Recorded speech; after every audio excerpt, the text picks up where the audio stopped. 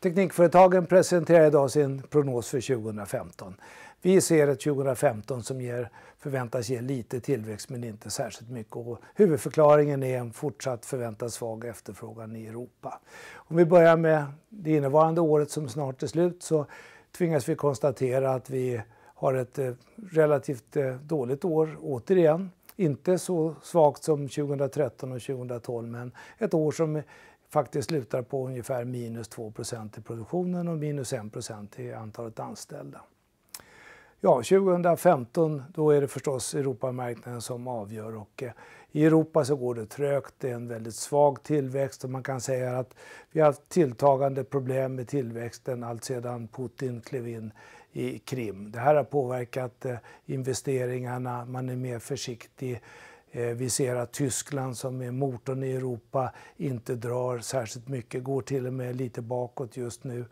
Tyskland har varit betydligt mer framgångsrikt än de flesta andra länder i Europa och det är en förklaring, en viktig förklaring är en framgångsrik personbilsindustri.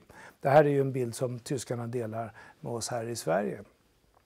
Eh, vi har alltså stora skillnader mellan, mellan verksamheter som är mer inriktade på investeringar än de som säljer Eh, direkt till slutkonsumenterna. Investeringssidan är svag. Det betyder att maskinindustrin går in, dåligt och förväntas att ha en fortsatt svag utveckling. Ehm, dåligt går marknaden också i Sydamerika.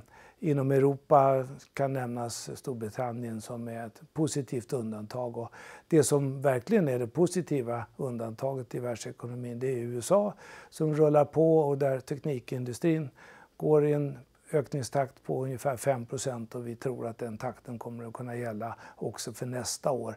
Det här är då siffror som är dubbelt så höga i Kina där teknikindustrin går med 10% i årstakt och där vi tror att den kommer att rulla på ganska bra även nästa år eller med en ökning på, på 8% Så att eh, det ser olika ut i världen. Vi har ett, kanske ett mindre antal positiva ljuspunkter och en bild av en fortsatt dämpad utveckling mer generellt.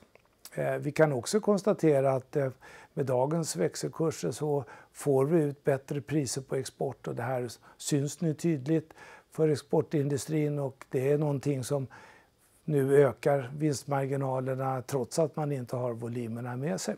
Hur det blir framöver vet man mindre om. Här finns risken att eh, Europa som behöver få igång sina hjul kan mycket väl kan göra det genom att trycka ner sin valutakurs euron. Och går euron ner mot dollarn så kommer vi i alla fall i någon mån att tryckas upp emot euron. Antagligen kommer vi ha en mer positiv effekt på, mot USA men fortfarande är det så att vi säljer mest i Europa så att här har vi en viss risk. Annars så tror vi nog att eh, 2015 kommer att eh, inte hända så mycket utan vara ett år som är fortsatt dämpat just beroende på att det är trögt i Europa.